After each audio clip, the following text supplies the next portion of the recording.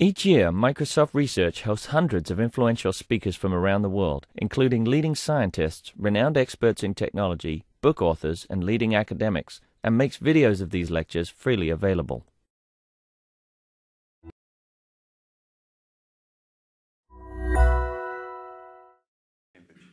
Um, so um, this is, as Scarlett says, a, a talk about general strategic uh, thinking. Um, and uh, I'm going to, um, I think I want to say at the start is, uh, by all means, please you know, speak up and ask questions during the talk. I also, um, I'm going to set some homework um, at the end, um, and I reckon I need about 10 minutes to set the homework and maybe take questions. So if I haven't gotten to the homework slide by 10 to, uh, 10 to 12, you know, Scarlett, please remind me, or anyone else shout out. Ask for the homework. Where's the homework, Andy? Um, okay, so strategic thinking for researchers. Um, so you're at the start of this school, and uh, there's, there's going to be a bunch of talks about actual research content later in the day and, and during the school. And on Friday, I know that Simon P.J. is, is uh, who is a great speaker and researcher, is going to give some talks specifically about how to write uh, a research paper and then how to uh, you know, give a talk about uh, a research paper. So I'm sort of assuming that you, you can do this already, or you're learning, how, of course, you're learning how to do this anyway, um, and you'll, you'll get Simon's talk at the end. So I'm not going to speak about those sort of um, specifics. I'm speaking more about longer term things. I mean, about how um, researchers, I mean, us, how, about how us, researchers, how us researchers choose problems um, and try to solve them and take them further to get people to, to pick up on uh, the, the ideas um, that we've got. Um, so if uh, you know, research is your life, I mean, I think every, everyone in this room, you're, you're dedicated to, we're all dedicated to research. You know, we probably work night and day on, on research. We're going to devote that much effort to it in the long run.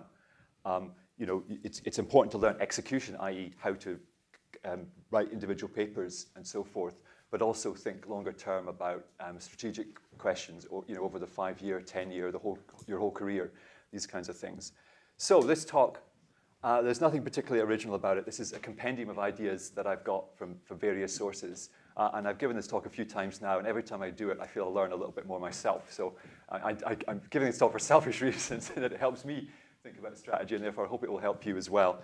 And, mean, some of this is going to apply to you today as grad students, and I think some of it hopefully will give you insights into what it's like to be a full-time researcher, maybe as a postdoc or, or a, a uh, or as a lecturer, as a professor, or say a researcher in a corporate lab like, like Microsoft. Um, and I, I, I, always feel I'm, I'm kind of stepping out of my comfort zone when I give this talk because it is like a, a set of heuristics um, and they're probably a little bit contradictory. Um, and I, am not sort of backing this up with rigorous theory or empirical evaluations or user studies or, or anything like that. Um, and, and, and, indeed, there's not one particular correct strategy, um, but I think there's some common points. And I don't even say that uh, I or anyone else follows all this advice all the time, but I think people, I think successful people follow at least some of this advice some of the time. Um, and personally, why am I doing this? Well, I don't know, it's a sideline. I've, I've got interested in uh, uh, the, the, general question of, of, strategy for researchers and getting researchers to talk to one another. So a few years ago, uh, with a colleague called uh, Thore Graepel, who's a machine learning researcher in this lab. So, I mean, I'm a programming language researcher, so he's like, you know, on the other side of the lab technically from me we decided to get together and think about impact, I mean, beyond individual papers. And we had a workshop here at Cambridge in the lab for Microsoft researchers, uh, you know, talking about uh, long-term uh, impact. And it was frankly a huge amount of fun just talking about it.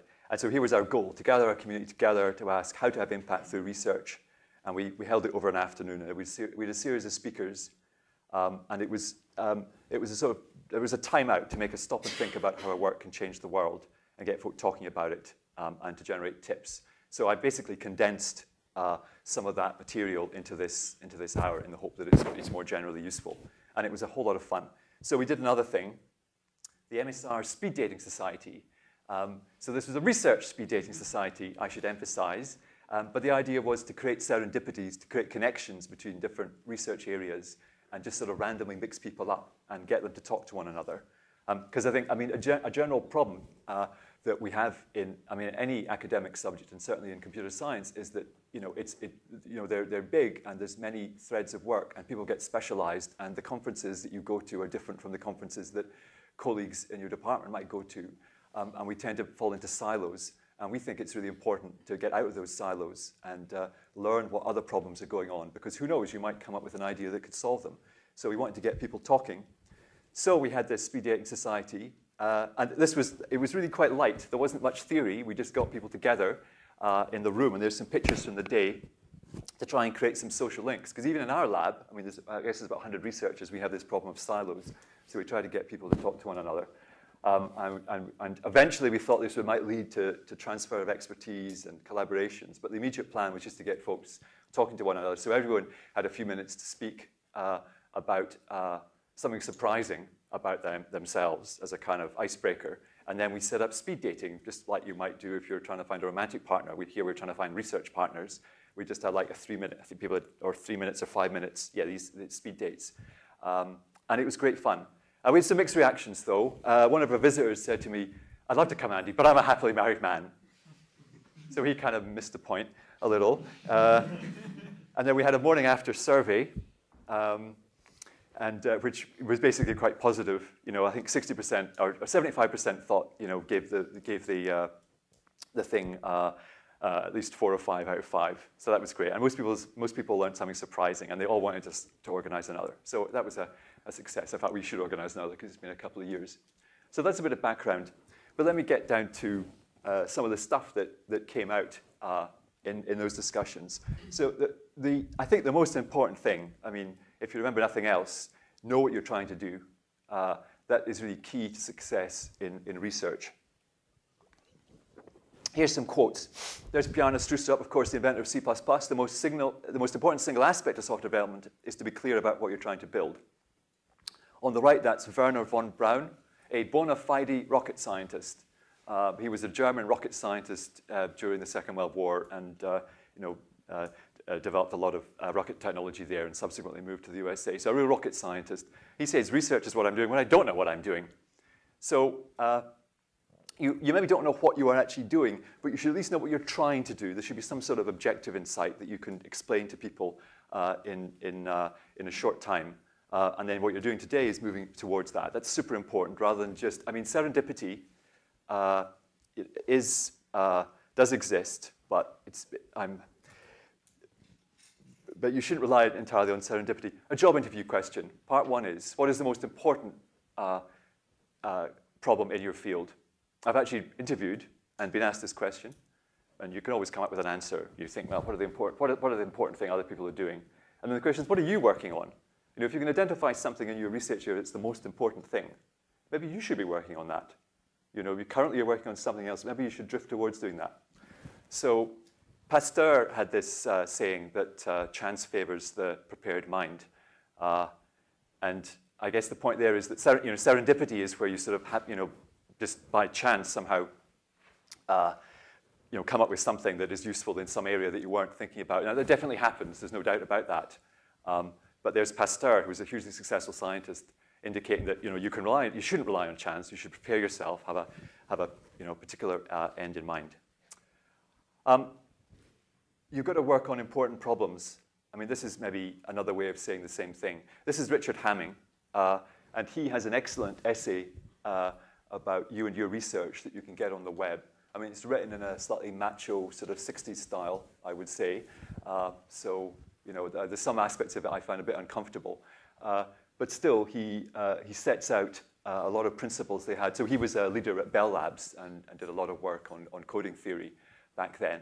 Um, and uh, he was saying, so he had his sort of Friday, Friday afternoon thing that he would spend 10% of his time trying to understand what were the big problems in his field. He actually systematically did that every week. We spent Friday afternoons thinking about what the big problems were.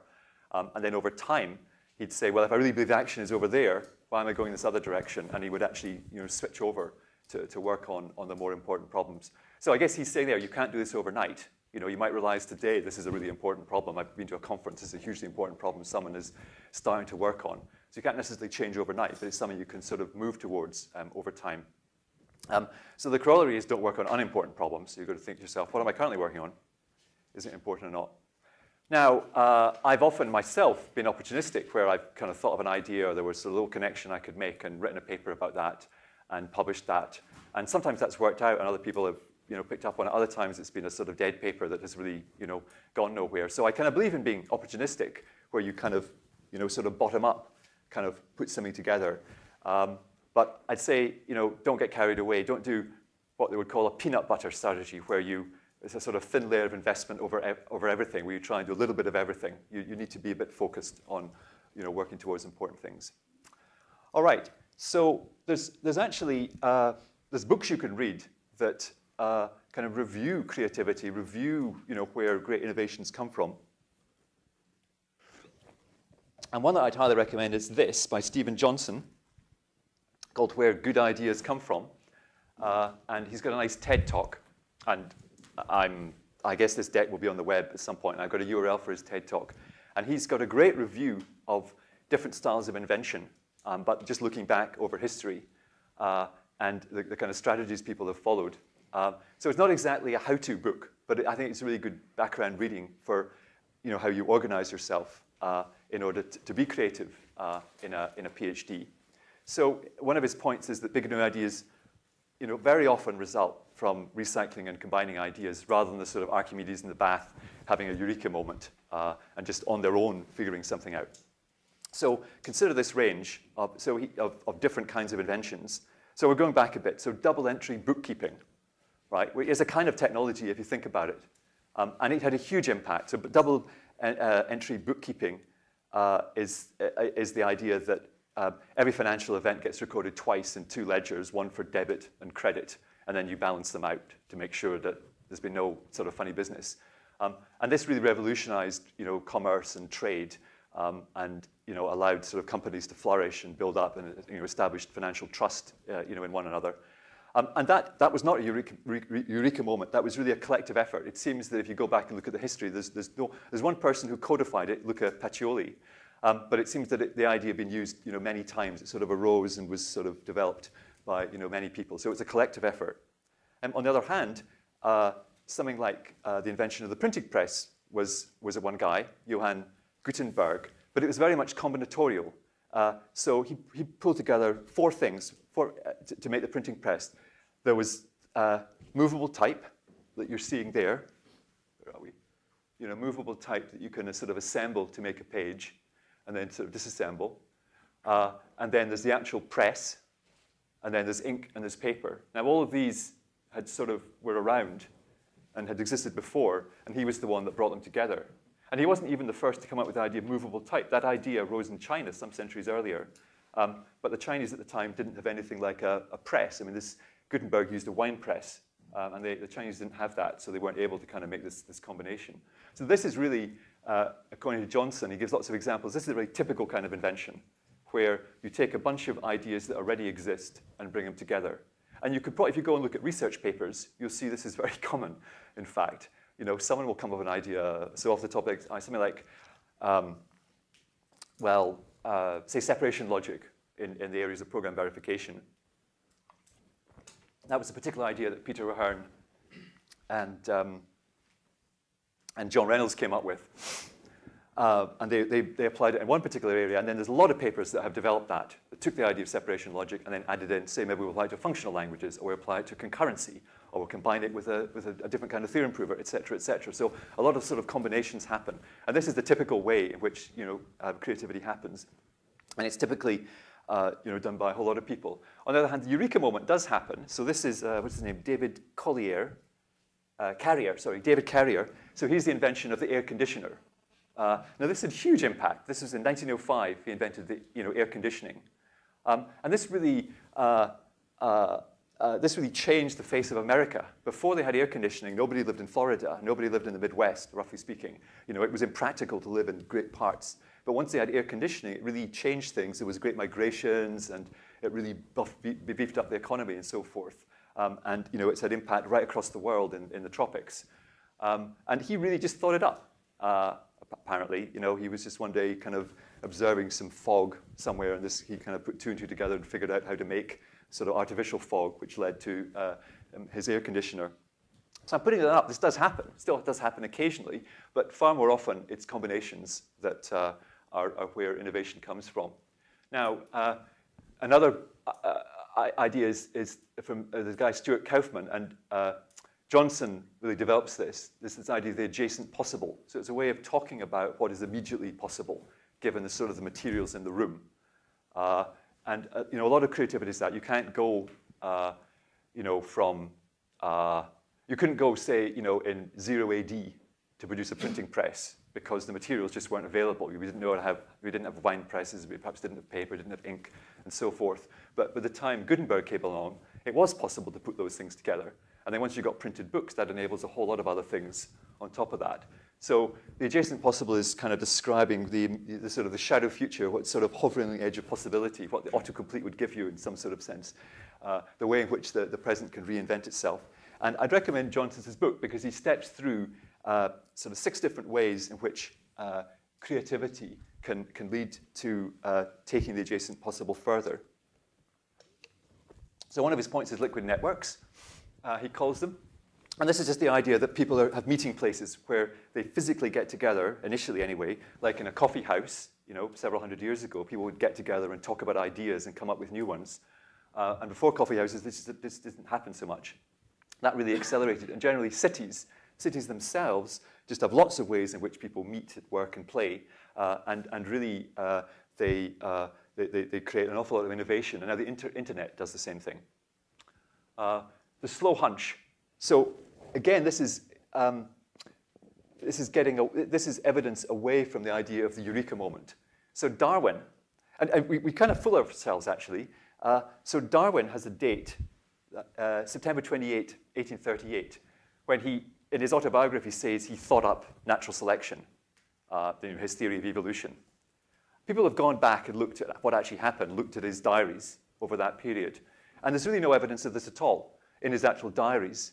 The best we can say is that he, he was starting to think about it the previous year, summer 1837. And by the time of November 1838, he was proclaiming that I have this new theory and writing his book about it. Um, and the, the, they, they look in his diary entry for the day where he thought about it, um, and he kind of notes down. He actually does, uh, does write down in his diary something that would be a, a, definite statement of natural selection. But it's not as if the next day he's suddenly out trying to tell people he's gone on to something completely different in his, in his diaries. He's like, totally calm about it. So it's the idea that you've got a slow hunch that there's a connection to be made.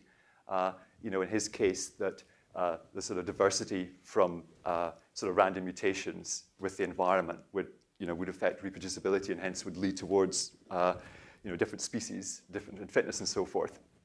Yep, you, uh, I mean, you can get to that idea, but uh, before that, you maybe have a hunch that some kind of connection, some sort of explanation.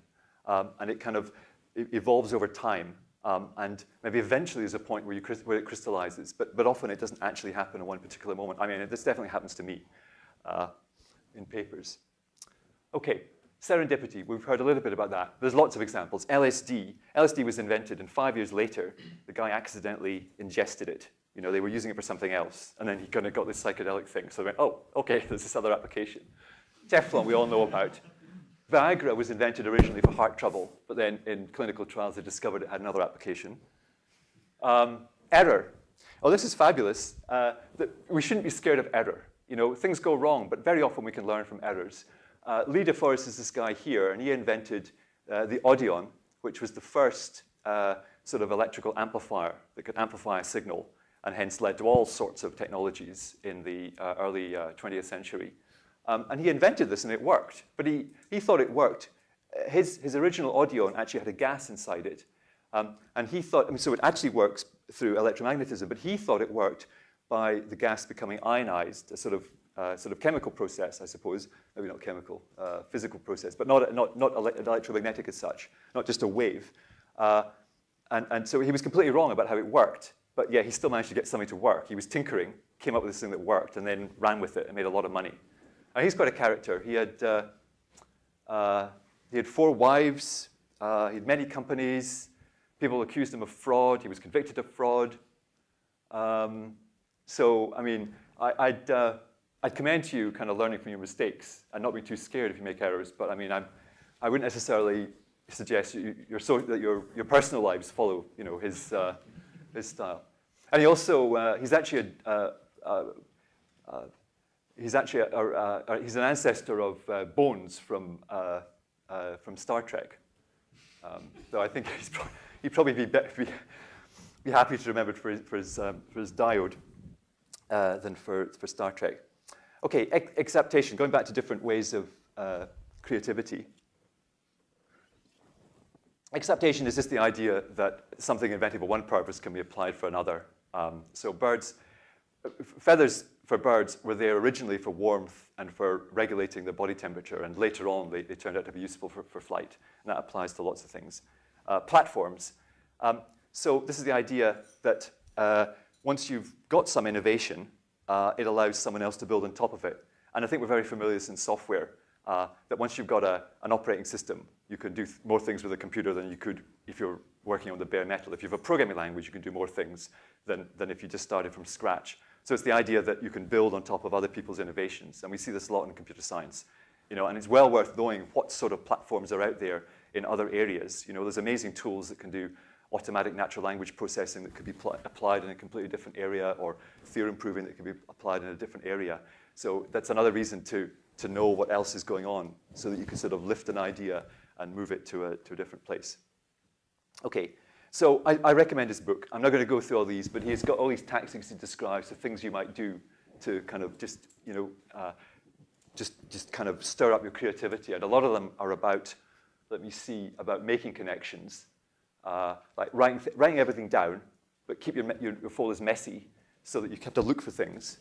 And then you kind of are reminded of other ideas you had. I, you, just occasionally that sort of stirs things up and you will come up with a great idea. Uh, whoops a daisy. Uh, okay, so I highly recommend his book. Let me, let me change tack from a sort of theory of, of creativity to what it's like to be a researcher in a lab like Microsoft uh, Cambridge. So this is Don Syme, who's one of our heroes in uh, this lab. He also was an early employee. He started in 98.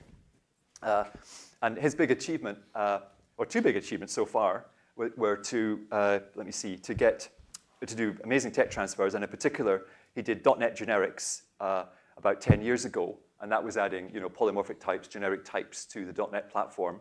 I mean, when it first launched, it, it had no uh, parametrics. And he was the guy who kind of had the vision to implement it, sort of in a sort of skunkworks thing on the side, you know, separate from the, the product group guys, and then persuade them to adopt it.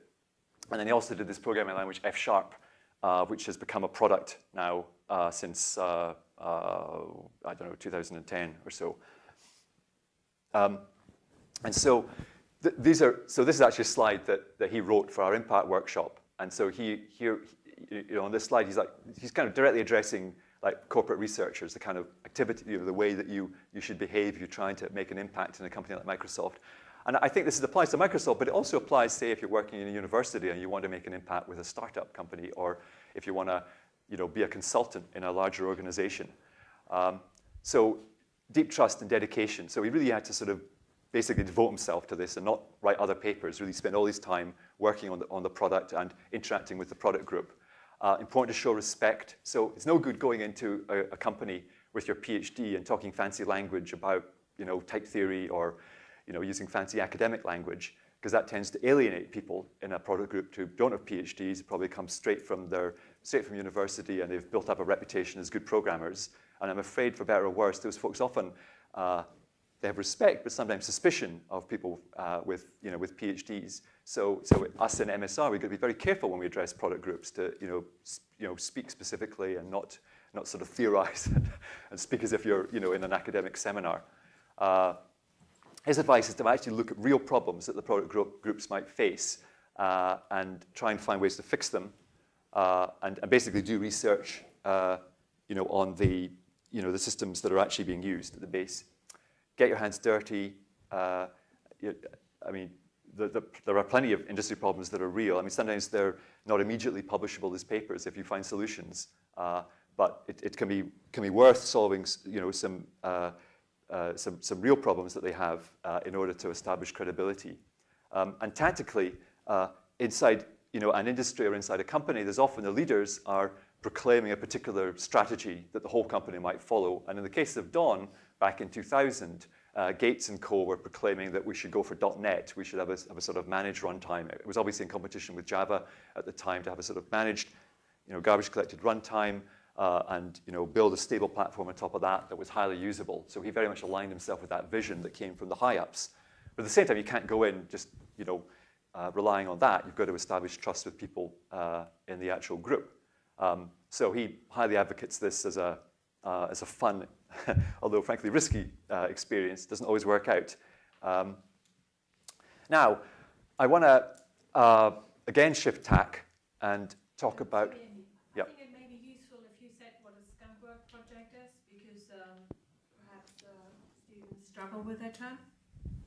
Oh, okay. Um, so that's oh, Skunkworks is just the idea that you can have a project where there's uh, that's sort of not known to the management, if you like. So uh, you know, when Don, so there was a product team over in Redmond that were doing .NET 1.0, and management and so on decided they would have a particular design that was very similar to the original Java and didn't have parametrics in it. And so Don, without really asking for permission from anyone and not really alerting management, would go in and basically add generics to it and then basically present a running demoable system. Say, look, you could do this. Uh, you know, he hadn't slowed anybody down, hadn't ruffled management, getting into, you know, mess with folks in any way. He just presented a possibility, and, after, and over time they accepted it. And uh, by version two or three, they, they, they had the generics in. So that's the kind of idea where you have a project that's sort of insulated from, uh, well, I guess insulated from management in two ways. One way in that management over in the product group didn't know about it, and the other way is that in some sense management here didn't know about it because management here generally doesn't care what we do so long as we do something cool. Uh, so the whole, and in some sense, the whole of MSR is a Skunkworks project. I'm maybe slightly exaggerating there, uh, where uh, they say, go do something interesting and come back next year, uh, which is you know, great fun, great responsibility, also demanding. Um, okay. well, please ask more questions if I'm not being very clear. Right, so here's, uh, here's a checklist.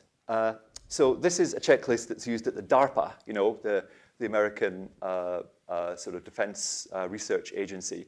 Um, and they use this to assess projects that they're going to fund or not. Um,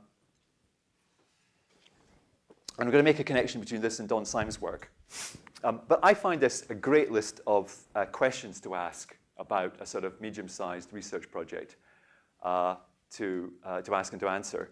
Um, himself is awesome. Uh, he was the guy who invented the liquid crystal display now think about that, the LCD, the impact that has had. I mean, he was doing that back in the 60s, you know, and today, I mean, there's probably, I don't know, 50 LCD displays or maybe 100 in this room, you know, huge impact.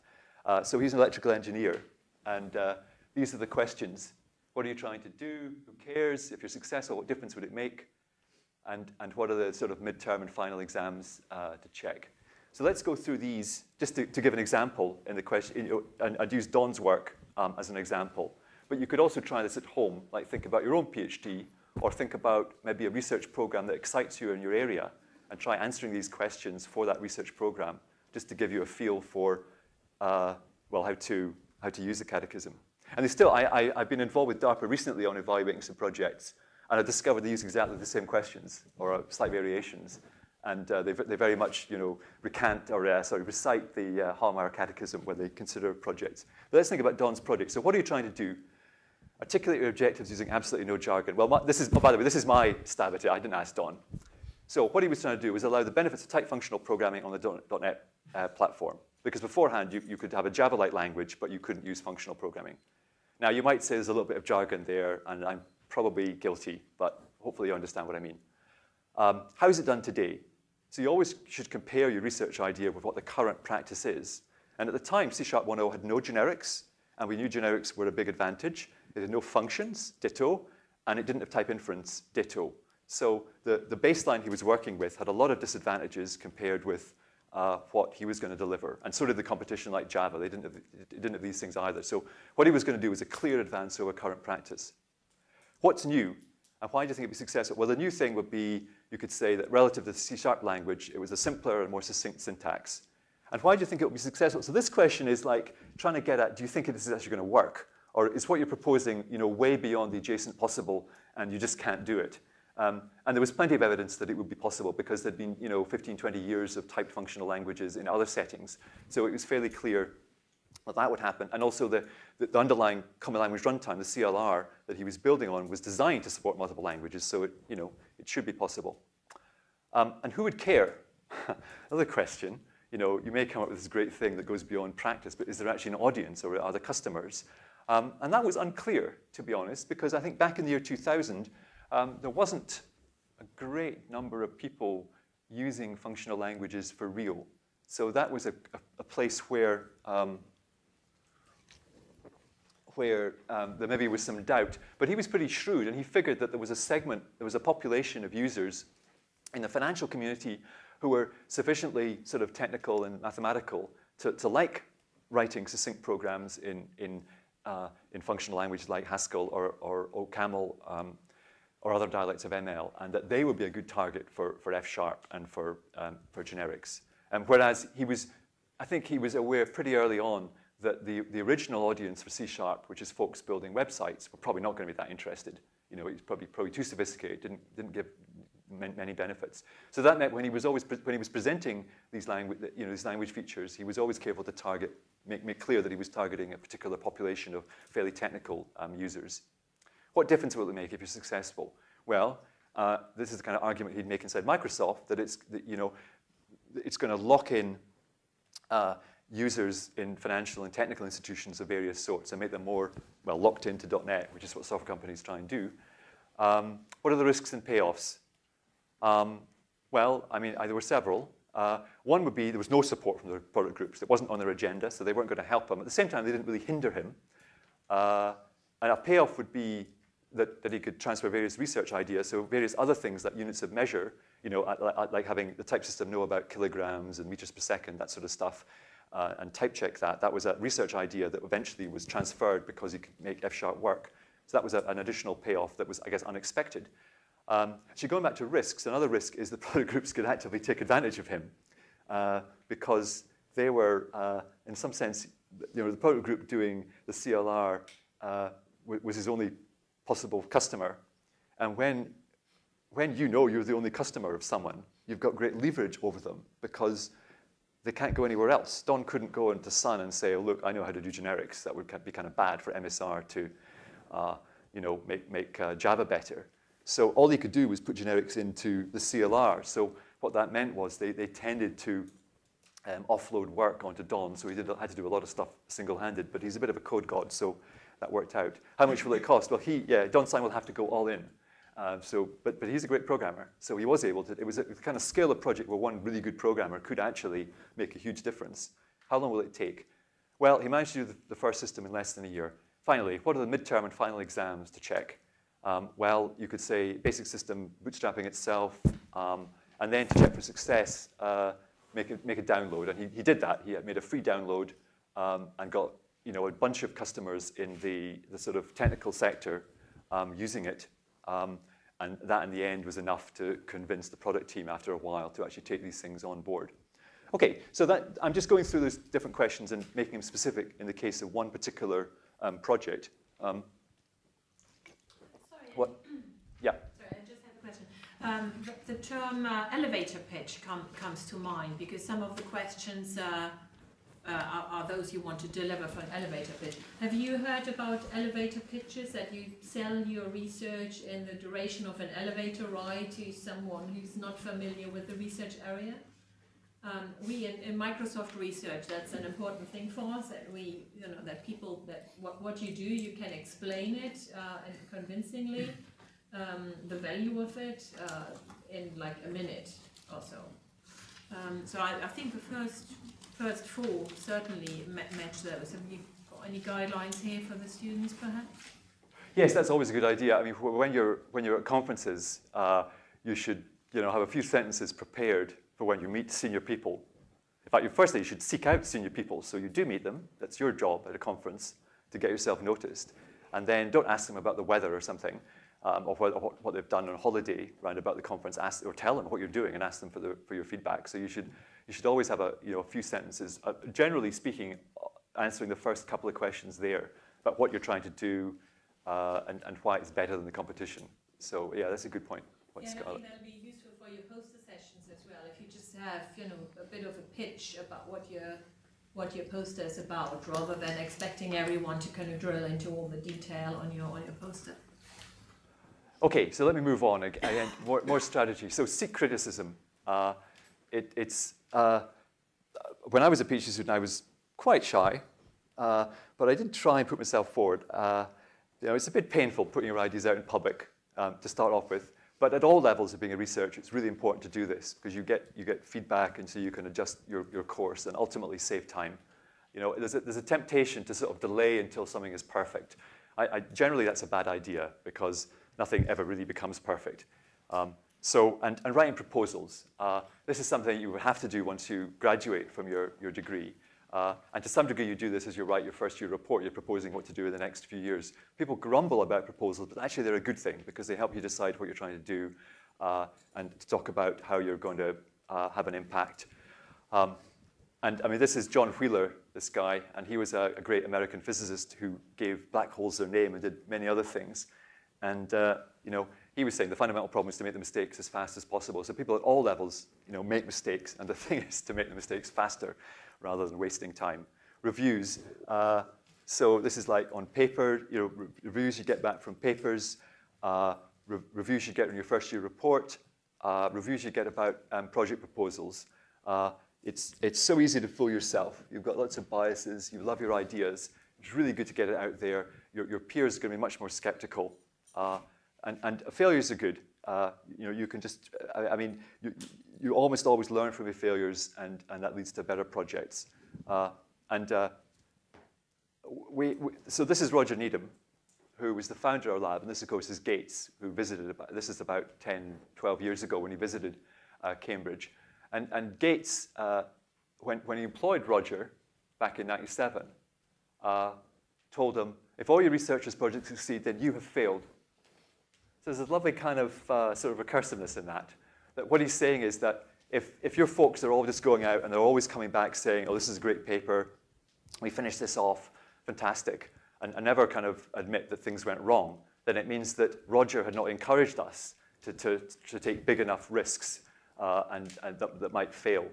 Uh, so, uh, you know, it's, it's, uh, it's, it's really, it's, you shouldn't be scared of, of, you know, making a fool of yourself. You know, go for big things. Uh, okay, and don't be seduced by proxies. Uh, you should decide what it is you want to do, like I've been saying, in, in technical terms. There's a particular audience you're trying to reach.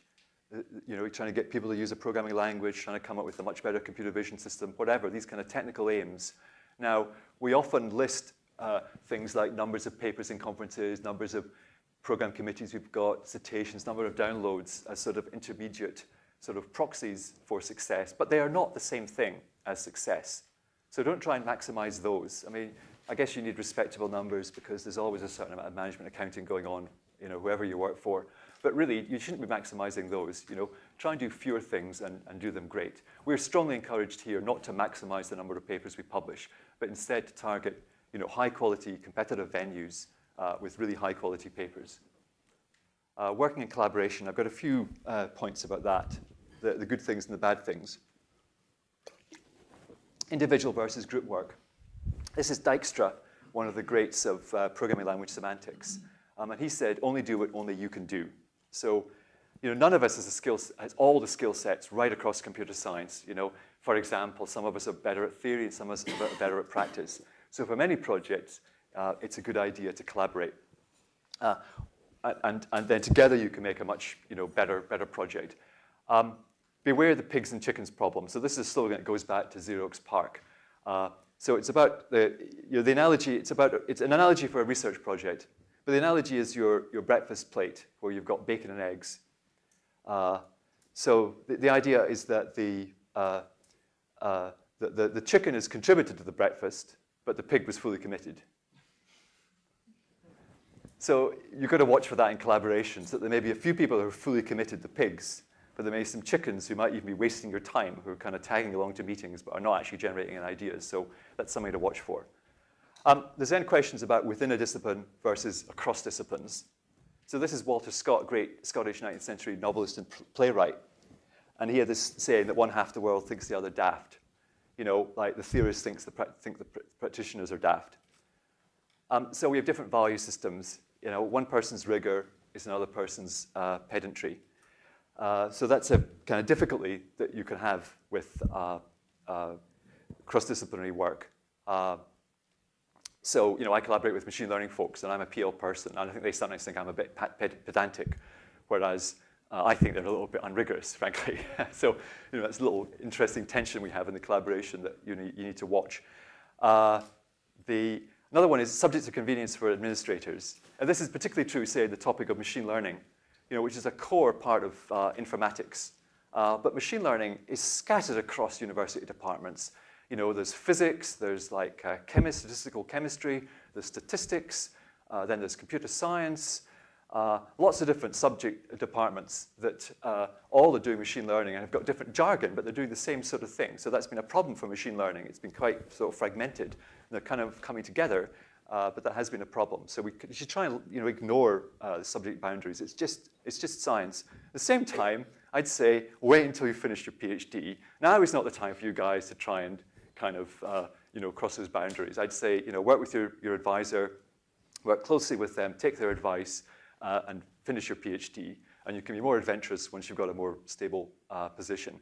Uh, and if you do have a collaboration, only have one step specialist participant, or else they'll spend all the time arguing about the best way to do something. Whereas if there's, say, one machine learning person, one you know, programming language person, we can just get on with it. And it's easy to, to know who is the expert on a particular notation um, or whatever. I've uh, a note or two for theorists. Um, actually, and practitioners. So this is uh, Robin Milner, a great theorist and personally hugely influential on me. Uh, and he's the 1991 uh, Turing Award winner. And he did some amazing stuff in programming languages, functional programming, in, in concurrency theory, uh, and, and so forth. Um, and he established a lab called the uh, Laboratory for Foundations of Computer Science in Edinburgh. And his big goal for that was this double thesis that the design of computing systems can only properly succeed if it's well grounded in theory, and that the important concepts in the theory can only emerge through protracted exposure to application. And I found that thesis very useful in my own work. And I can, I mean, so I took one of his series called the Pi calculus and uh, figured out how to apply, uh, you know, an application of it in the area of security protocols, which was just a different thing that, say, Robin had never heard of. So I made this connection. It was part of the adjacent possible a little combination I could make. It wasn't a particular eureka moment. It was just a combination of things that were there on the table within the computer lab where, there were, where I was at Cambridge, where there were people doing pi calculus, and then in a completely different seminar series, people talking about security protocols. And I had this idea where I could combine the two, which has proved very, very useful for me. Uh, it's probably my most cited paper. Uh, so that, that was a, an example of like following this advice of like trying to evaluate the theory in, in practice. Um, so it, it is generally, if you're doing theory, this is great. You know, I, I guess the value system there very much is uh, mathematical, like develop a body of knowledge encoded in a body of theorems, brilliant. But I'd say also uh, consider how you can apply your theories in practice and look for applications. And who knows, you might find something amazing. Uh, this is another argument that Robin has for uh, experimentation. And, and this is very much what he did. You know, he, he built uh, he built various theorem-proving systems back in the, in the 70s. So LCF was one of them, and it, it, it, led to a series of innovations. So he developed LCF, and which led to the ML programming language back in the 70s. So he was a real pioneer of functional programming, and then led to things like OCaml and Haskell and F-sharp. So eventually became super widely deployed because he actually tried to sort of test his theories in practice. Okay, shifting gears again, you see, I, I think we can learn from a lot of uh, different areas as we, as we do, do research and, and choose strategies. And it's five minutes before we get onto the homework. So let me say, so this is Eric Ries, and he has a book called The Lean Startup, which is fab. It's become very popular in the last few years. Um, and and he, his theory uh, is that, uh, well, firstly, a startup is an organization to create products under conditions of extreme uncertainty. And that his theory is that, uh, the, that learning is the essential unit of progress uh, for startups. So when I read his book, I thought, wow, this is like being a researcher. You know, learning is the essential unit of progress for researchers too. So I'd recommend go reading his book. Now, it's not applicable to everything. I don't know whether it's applicable to mathematics, but I think it's, you know, these kind of ideas are very applicable in, uh, uh, when we're building computer technologies, because of course, that's not so far from being a, a startup. Um, easy to kid yourself about what customers want. You know, get feedback. It's kind of what I've been saying. You should give seminars to get feedback. He's saying a startup, it's essential for a startup to get feedback from uh, customers because it's so uncertain what is actually going to be useful. Uh, and here's this idea of validated learning, where you systematically set up experiments and get empirical data from real customers. And to do that, here's this idea of a minimal viable product, where you build a sort of tiny version, lightly engineered, of the product you want to build that's just good enough. So you put just enough effort into it and no more, that it's good enough to put it out in front of customers to get their feedback. Um, and he wants to enable this build, measure, learn loop. And the, the thing, right, the examples I want to give are firstly, this minimal viable product could just be a video. So Dropbox is hugely successful. Many of you guys might use Dropbox. Dropbox originally put out their product as a video. They wanted to figure out what sort of user experience would actually attract customers, and they didn't know, so they mocked something up, put a video out, and discovered that lots of people wanted it because they, they, put a video out and they had a sort of email address where you could sign up if you wanted to get to learn more, and lots of people signed up. So that convinced them that it was worth pushing what ended up being a hugely successful uh, product. There's the, I'm sorry, there's the concierge idea. This was uh, a company called Food on the Table, uh, and they, they, they wanted to build a website that would help people uh, produce menus for the week that could be sourced with local ingredients from supermarkets and local stores in the vicinity. And they weren't sure whether this was going to work or not. They were going to build a website to do that. So what the, start, what the CEO did was he, he pretended he was the website. So he managed to find one person who would sign up for this service, and he went and sat down with, with them in their kitchen and acted as if he was the website, asked them questions, and figured out you know, what, how they would like to plan their, their, uh, their, their menu. And he did that repeatedly until he got an idea of what sort of would work. And then they built some software to do it and became a success. And then there's the Wizard of Oz idea, which is a little similar, but where you build what appears to be a website that works. And there was a company called Aardvark that did this. They wanted to have a general question answering uh, system for the web. And they built it with humans in the back end. So the idea was it was that you could type in an arbitrary question you wanted, hit return, and it would sort of say just computing, and in the background, there were real people sort of looking at Wikipedia or whatever, and then typing the answers back. And they were trying to figure out what sort of, what would work. Um, and they figured they could automate some of the stuff, but they wanted to figure out what would work first. So that's what they did. So I highly recommend reading this book. It's, I think it will maybe change the way you think about research, and maybe it should turn you into, into an entrepreneur. Um, okay, I'm two minutes to homework. Let me go through this very quickly. Work with the system. There's a system and it has lots of resources. So this is Clay Shirky, uh, and he's the, uh, uh, you know, he's a media theorist. Uh, uh, and here's this idea of cognitive surplus, that there's a lot of humans who've got time in their hands who contribute to open source projects. So if you can find a way to, to make your research benefit from that, like making a download, make your code available, then that can really help your research.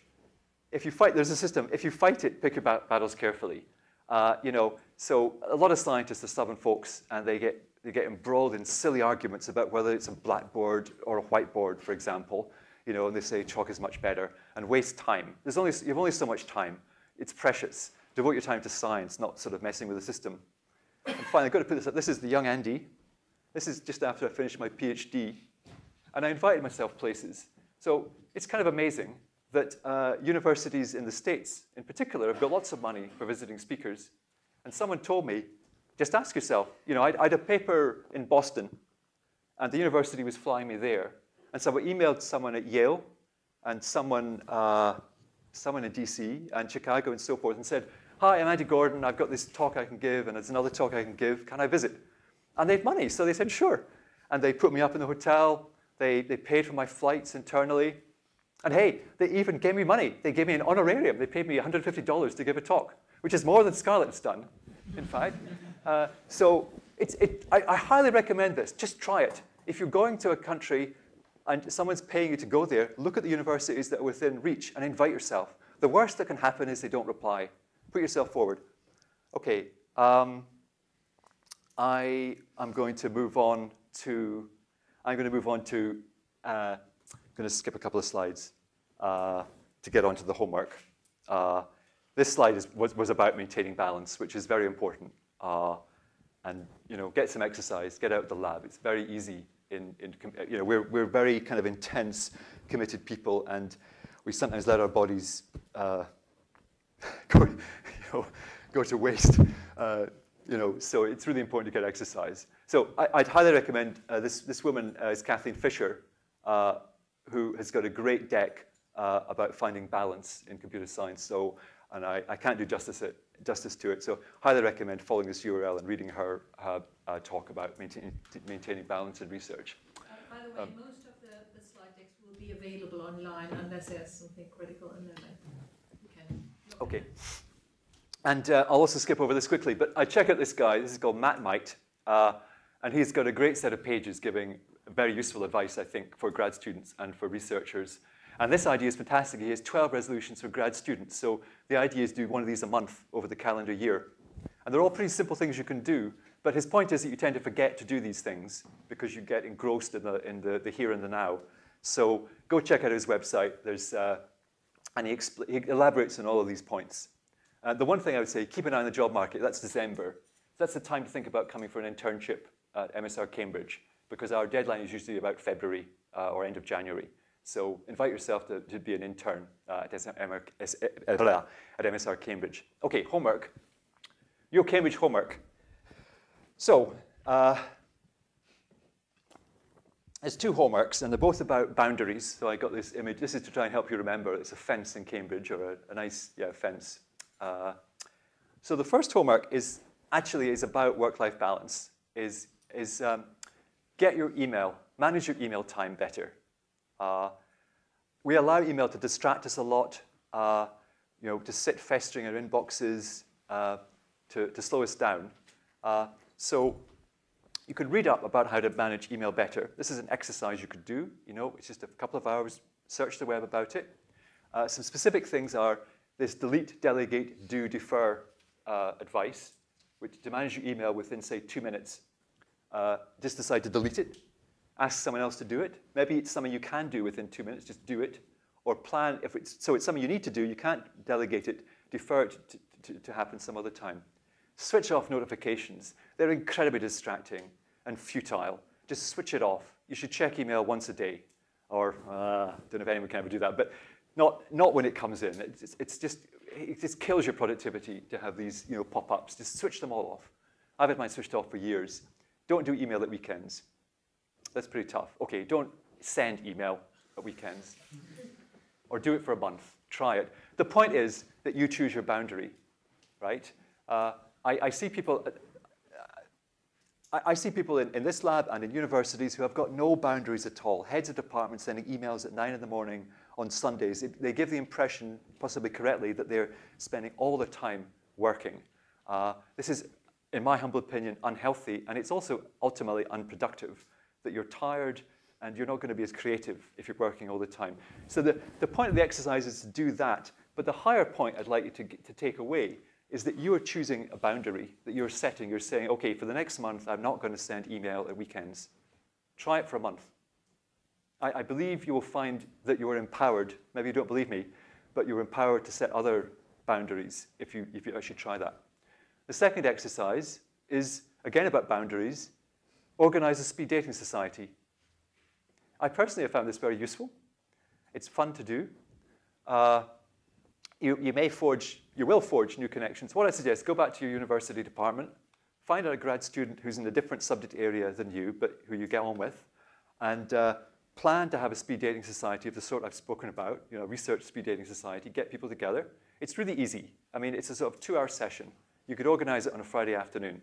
Uh, you know, maybe get everyone to say a little bit about themselves first of all to the whole group, maybe a minute each, and then, you know, uh, find a way to assign people partners, you know, to have their five speed dates of five minutes each, something like that. Uh, and uh, you'll be helping to, you know, foster interconnectedness to make the adjacent possible more likely to be discovered uh, by researchers. Um, the other point, though, the bigger point, again, is about boundaries, that it's you taking a professional initiative. I mean, you folks are all fairly junior. I think you're about one year into your PhD. You, you're kind of at the bottom of the food chain, academically speaking. Or food chain is the wrong word, but you're at the bottom of the pyramid, acad academically speak speaking.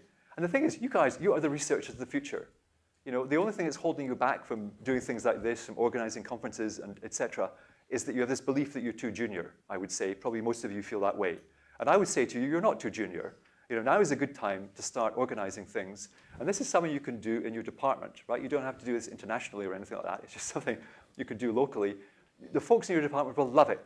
Your supervisor will love it that you're taking an initiative to do something like this in your department. Okay, so I'd suggest to do that. You, you're crossing a boundary. And what I'd ask you to do is please send me email. Right, I'm adg at microsoft.com. I'm Andy Gordon. You can find me on the web, adg at microsoft.com.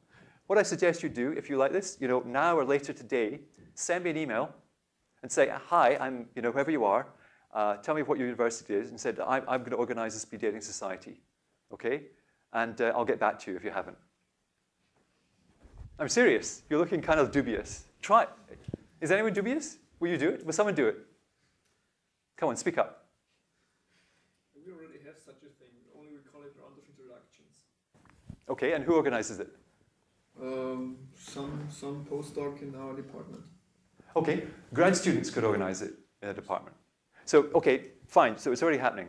But if you, but uh, even if you think something like this is already happening, um, you, you could still organize it. I've organized one already. Okay, fantastic. Yeah. Awesome. Really What was your experience? yeah, it's really good. It helps if you've got a lot of wine. um, and have that at the start as well. Uh, we had a little talk by uh, some professor uh, who just kind of, I guess, spoke about his experience of interacting with other people during his research. But the whole point was it was for people across a huge range of disciplines, and the whole point was to kind of promote the idea of working across academic boundaries. Um, and then it helps if you've got like a funny noise to encourage people to move to the next person. So we started with a foghorn, but then we changed it to a Tibetan gong because that was a little bit more peaceful. Um, and apart from that, I think uh, it was good. Like I met, we met two or three people that you know that we thought we might try and work with, and then a few of those kind of petered out. But there's still contacts that we have. That was people from our group. Um, but I think it's a really good idea. Uh, and it's and it's very easy to do. I think you don't even need the talk at the start. You can just have some wine and and uh, and get people moving on quite quickly, and yeah, it's good fun. Brilliant. You've heard the guy. Uh, so, you know, send me a mail. Okay, that's the end. Here's a summary. Uh, it'll be on the web. Thanks so much for your attention.